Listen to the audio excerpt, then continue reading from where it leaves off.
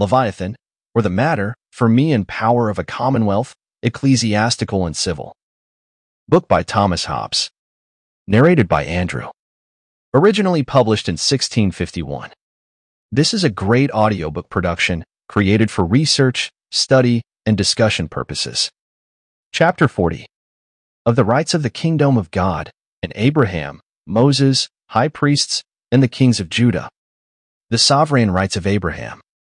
The father of the faithful and first in the kingdom of God by covenant was Abraham. For with him was the covenant first made, wherein he obliged himself and his seed after him to acknowledge and obey the commands of God. Not only such as he could take notice of as moral laws by the light of nature, but also such as God should in special manner deliver to him by dreams and visions. For as to the moral law, they were already obliged and needed not have been contracted withal by promise of the land of Canaan. Nor was there any contract that could add to or strengthen the obligation by which both they and all men else were bound naturally to obey God Almighty. And therefore the covenant which Abraham made with God was to take for the commandment of God that which in the name of God was commanded him in a dream or vision, and to deliver it to his family and cause them to observe the same. Abraham had the sole power of ordering the religion of his own people, in this contract of God with Abraham, we may observe three points of important consequence in the government of God's people. First, that at the making of this covenant, God spake only to Abraham, and therefore contracted not with any of his family or seed, otherwise than as their wills, which make the essence of all covenants, were before the contract involved in the will of Abraham, who was therefore supposed to have had a lawful power to make them perform all that he covenanted for them. According whereunto, Gen 18.18, 19. God saith, All the nations of the earth shall be blessed in him, for I know him that he will command his children and his household after him. And they shall keep the way of the Lord. From whence may be concluded this first point, that they to whom God hath not spoken immediately are to receive the positive commandments of God. From their sovereign, as the family and seed of Abraham did from Abraham their father, and Lord, and civil sovereign and consequently in every commonwealth, they who have no supernatural revelation to the contrary ought to obey the laws of their own sovereign in the external acts and profession of religion. As for the inward thought and belief of men, which humane governors can take no notice of, for God only knoweth the heart, they are not voluntary, nor the effect of the loss, but of the unrevealed will and of the power of God, and consequently fall not under obligation no pretense of private spirit against the religion of Abraham. From whence proceedeth another point, that it was not unlawful for Abraham, when any of his subjects should pretend private vision, or spirit, or other revelation from God. For the countenancing of any doctrine which Abraham should forbid, or when they followed, or adhered to any such pretender, to punish them. And consequently that it is lawful now for the sovereign to punish any man that shall oppose his private spirit against the loss for he hath the same place in the commonwealth that Abraham had in his own family. Abraham sole judge, and interpreter of what God spake. There are, he saith also from the same, a third point. That is none but Abraham and his family, so none but the sovereign in a Christian commonwealth can take notice what is, or what is not the word of God. For God spake only to Abraham. And it was he only that was able to know what God said, and to interpret the same to his family. And therefore also, they that have the place of Abraham in a commonwealth are the only interpreters of what God hath spoken. The authority of Moses whereon grounded. The same covenant was renewed with Isaac, and afterwards with Jacob. But afterwards no more, till the Israelites were freed from the Egyptians, and arrived at the foot of Mount Sinai. And then it was renewed by Moses, as I have said before, chap. 35. In such manner, as they became from that time forward the peculiar kingdom of God, whose lieutenant was Moses for his own time. And the succession to that office was set led upon Aaron and his heirs after him, to be to God a sacerdotal kingdom forever. By this constitution, a kingdom is acquired to God. But seeing Moses had no authority to govern the Israelites as a successor to the right of Abraham, because he could not claim it by inheritance, it appeareth not as yet that the people were obliged to take him for God's lieutenant longer than they believed that God spake unto him. And therefore his authority, notwithstanding the covenant they made with God, depended yet merely upon the opinion they had of his sanctity and of the reality of his conferences with God. And the verity of his miracles, which opinion coming to change, they were no more obliged to take anything for the law of God, which he propounded to them in God's name. We are therefore to consider what other ground there was of their obligation to obey him. For it could not be the commandment of God that could oblige them, because God spake not to them immediately, but by the mediation of Moses himself, and our Savior saith of himself, John 5. 31. If I bear witness of myself, my witness is not true, much less if Moses bear witness of himself. Especially in a claim of kingly power over God's people, ought his testimony to be received. His authority, therefore, as the authority of all other princes, must be grounded on the consent of the people and their promise to obey him. And so it was for the people, Exodus 20.18, when they saw the thunderings and the lightnings and the noise of the trumpet and the mountain smoking, removed and stood afar off. And they said unto Moses, Speak thou with us, and we will hear, but let not God speak with us lest we die. Here was their promise of obedience. And by this it was they obliged themselves to obey whatsoever he should deliver unto them for the commandment of God. Moses was, under God, sovereign of the Jews, all his own time, though Aaron had the priesthood. And notwithstanding the covenant constituted a sacerdotal kingdom, that is to say, a kingdom hereditary to Aaron, yet that is to be understood of the succession after Moses should be dead. For whosoever ordereth and establisheth the policy as first founder of a commonwealth, be it monarchy, aristocracy, or democracy, must needs have sovereign power over the people all the while he is doing of it. And that Moses had that power all his own time is evidently affirmed in the scripture. First, in the text last before cited, because the people promised obedience, not to Aaron, but to him. Secondly, Exodus 24.1, 2. And God said unto Moses, Come up unto the Lord, thou, and Aaron, Nadab and Abihu, and seventy of the elders of Israel. And Moses alone shall come near the Lord, but they shall not come nigh, neither shall the people go up with him. By which it is plain that Moses who was alone called up to God, and not Aaron nor the other priests, nor the seventy elders, nor the people who were forbidden to come up, was alone he that represented to the Israelites the person of God. That is to say, was their sole sovereign under God. And though afterwards it be said, verse 9, Then went up Moses, and Aaron, Nadab, and Abihu, and seventy of the elders of Israel, and they saw the God of Israel, and there was under his feet, as it were a paved work of a sapphire stone, etc. Yet this was not till after Moses had been with God before, and had brought to the people the words which God had said to him. He only went for the business of the people. The others, as the nobles of his retinue, were admitted for honor to that special grace, which was not allowed to the people. Which was, as in the verse after appeareth, to see God and live.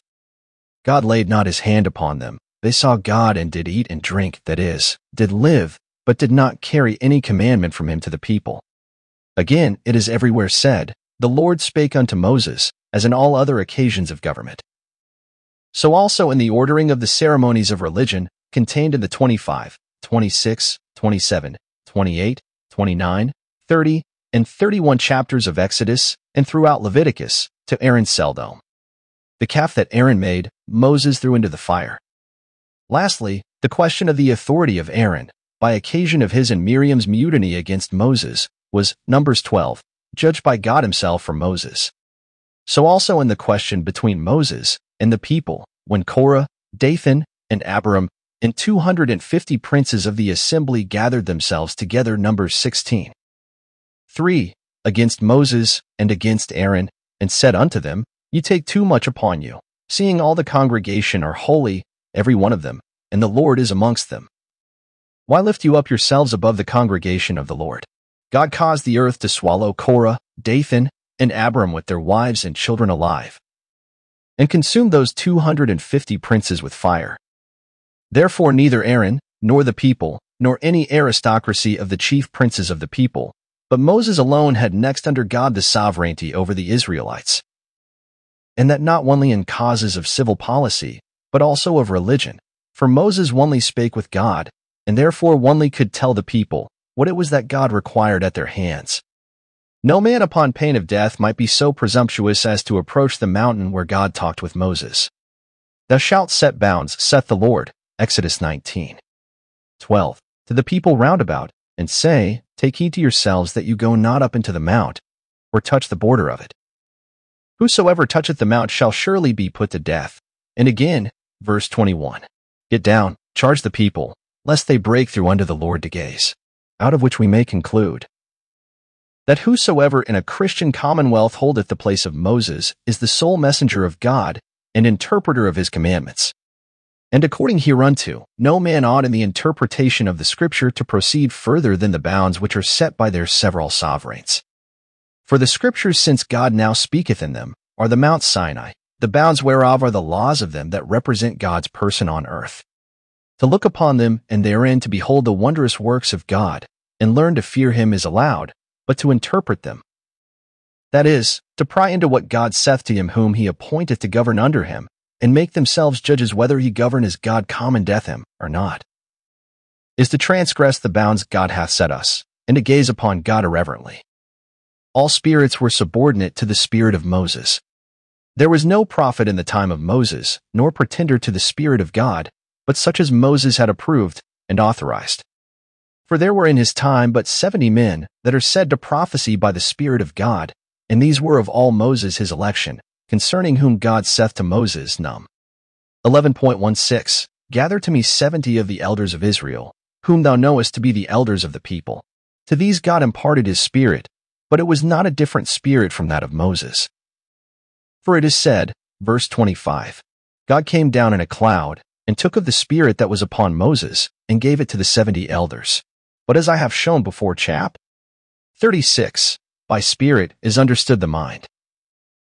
So that the sense of the place is no other than this, that God endued them with a mind conformable and subordinate to that of Moses, that they might prophesy, that is to say, speak to the people in God's name in such manner as to set forward as ministers of Moses, and by his authority, such doctrine as was agreeable to Moses' doctrine. For they were but ministers, and when two of them prophesied in the camp, it was thought a new and unlawful thing, and as it is in the 27. In 28 verses of the same chapter, they were accused of it, and Joshua advised Moses to forbid them, as not knowing that it was by Moses' his spirit that they prophesied. By which it is manifest that no subject ought to pretend to prophecy or to the Spirit in opposition to the doctrine established by him, whom God hath set in the place of Moses. After Moses the sovereignty was in the high priest, Aaron being dead, and after him also Moses, the kingdom, as being a sacerdotal kingdom, descended by virtue of the covenant, to Aaron's son, Eleazar the high priest. And God declared him, next under himself, for sovereign, at the same time that he appointed Joshua for the general of their army. For thus God saith expressly num. 27.21 Concerning Joshua, he shall stand before Eleazar the priest, who shall ask counsel for him, before the Lord, at his word shall they go out, and at his word they shall come in, both he and all the children of Israel with him. Therefore the supreme power of making war and peace was in the priest. The supreme power of judicature belonged also to the high priest, for the book of the law was in their keeping. And the priests and Levites only were the subordinate judges in causes civil, as appears in Deut. 17.8, 9, 10. And for the manner of God's worship, there was never doubt made, but that the high priest till the time of Saul had the supreme authority. Therefore the civil and ecclesiastical power were both joined together in one and the same person, the high priest, and ought to be so, and whosoever governeth by divine right. That is, by authority immediate from God. Of the sovereign power between the time of Joshua and of Saul. After the death of Joshua till the time of Saul, the time between is noted frequently in the book of Judges, that there was in those days no king in Israel. And sometimes with this addition, that every man did that which was right in his own eyes, by which is to be understood that where it is said, there was no king, is meant. There was no sovereign power in Israel. And so it was, if we consider the act an exercise of such power. For after the death of Joshua and Eleazar, there arose another generation, Judges 2.10, that knew not the Lord, nor the works which he had done for Israel, but did evil in the sight of the Lord, and served Baalim, And the Jews had that quality which St. Paul noteth to look for a sign, not only before they would submit themselves to the government of Moses, but also after they had obliged themselves by their submission. Whereas signs and miracles had for end to procure faith, not to keep men from violating it, when they have once given it, for to that men are obliged by the law of nature. But if we consider not the exercise, but the right of governing, the sovereign power was still in the high priest. Therefore, whatsoever obedience was yielded to any of the judges, who were men chosen by God extraordinarily, to save his rebellious subjects out of the hands of the enemy. It cannot be drawn into argument against the right the high priest had to the sovereign power, in all matters, both of policy and religion. And neither the judges nor Samuel himself had an ordinary, but extraordinary calling to the government, and were obeyed by the Israelites not out of duty, but out of reverence to their favor with God, appearing in their wisdom, courage, or felicity. Hitherto, therefore, the right of regulating both the policy and the religion were inseparable of the rights of the kings of Israel. To the judges succeeded kings, and whereas before all authority, both in religion and policy, was in the high priest, so now it was all in the king. For the sovereignty over the people, which was before, not only by virtue of the divine power, but also by a particular pact of the Israelites and God, and next under him, in the high priest. As his vice-regent on earth was cast off by the people, with the consent of God himself. For when they said to Samuel, 1 Sam 8.5, Make us a king to judge us, like all the nations, they signified that they would no more be governed by the commands that should be laid upon them by the priest, in the name of God, but by one that should command them in the same manner that all other nations were commanded. And consequently, in deposing the high priest of royal authority, they deposed the peculiar government of God. And yet God consented to it, saying to Samuel, verse 7, Hearken unto the voice of the people, and all that they shall say unto thee. For they have not rejected thee, but they have rejected me, that I should not reign over them. Having therefore rejected God, in whose right the priests governed. There was no authority left to the priests, but such as the king was pleased to allow them, which was more or less, according as the kings were good or evil. And for the government of civil affairs, it is manifest, it was all in the hands of the king. For in the same chapter, verse 20, they say they will be like all the nations, that their king shall be their judge, and go before them, and fight their battles. That is, he shall have the whole authority, both in peace and war. In which is contained also the ordering of religion, for there was no other word of God in that time, by which to regulate religion, but the law of Moses, which was their civil law. Besides, we read 1 Kings 2.27, that Solomon thrust out Abiathar from being priest before the Lord.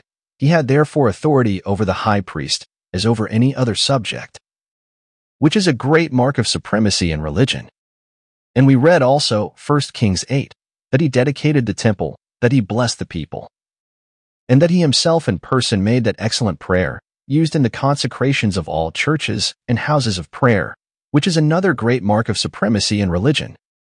Again, we read 2 Kings 22, that when there was question concerning the book of the law found in the temple, the same was not decided by the high priest, but Josiah sent both him.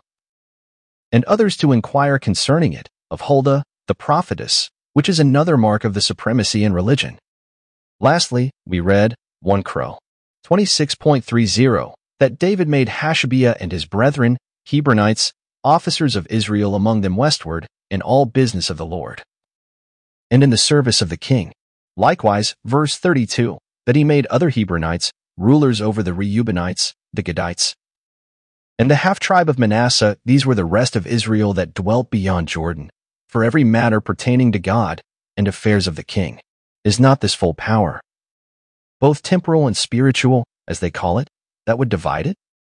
To conclude, from the first institution of God's kingdom to the captivity, the supremacy of religion was in the same hand with that of the civil sovereignty. And the priest's office after the election of Saul was not magisterial, but ministerial. The practice of supremacy in religion was not in the time of the kings, according to the right thereof. Notwithstanding the government both in policy and religion were joined, first in the high priests and afterwards in the kings, so far forth as concerned the right. Yet it appeareth by the same holy history that the people understood it not. But there being amongst them a great part, and probably the greatest part, that no longer than they saw great miracles, or, which is equivalent to a miracle, great abilities. Or great felicity in the enterprises of their governors gave sufficient credit either to the fame of Moses or to the colloquies between God and the priests. They took occasion as oft as their governors displeased them, by blaming sometimes the policy, sometimes the religion, to change the government or revolt from their obedience at their pleasure. And from thence proceeded from time to time the civil troubles, divisions, and calamities of the nation. As for example, after the death of Eleazar and Joshua, the next generation which had not seen the wonders of God, but were left to their own weak reason, not knowing themselves obliged by the covenant of a sacerdotal kingdom, regarded no more the commandment of the priest, nor any law of Moses. But did every man that which was right in his own eyes, and obeyed in civil affairs such men as from time to time they thought able to deliver them from the neighbor nations that oppressed them. And consulted not with God, as they ought to do, but with such men, or women, as they guessed to be prophets by their predictions of things to come. And thought they had an idol in their chapel, Yet if they had a Levite for their chaplain, they made account they worshipped the God of Israel. And afterwards when they demanded a king, after the manner of the nations, yet it was not with a design to depart from the worship of God their king. But despairing of the justice of the sons of Samuel, they would have a king to judge them in civil actions. But not that they would allow their king to change the religion which they thought was recommended to them by Moses. So that they always kept in store a pretext, either of justice or religion, to discharge themselves of their obedience, whensoever they had hoped to prevail. Samuel was displeased with the people, for that they desired a king, for God was their king already, and Samuel had but an authority under him. Yet did Samuel, when Saul observed not his counsel, in destroying Agag as God had commanded, anoint another king, namely David, to take the succession from his heirs. Rehoboam was no idolater, but when the people thought him an oppressor, that civil pretense carried from him ten tribes to Jeroboam an idolater.